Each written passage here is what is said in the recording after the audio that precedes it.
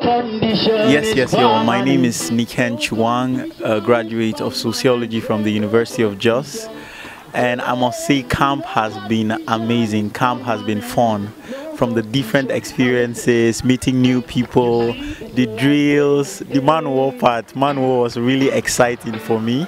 And then the most special thing to my heart, apart from meeting amazing people, was the talent hunt where I auditioned and I came second. Tomorrow their level it change. Now listen, see, respect the everybody. So it's been really amazing and I can't wait for PPA and everything that comes after now. No condition is Bama.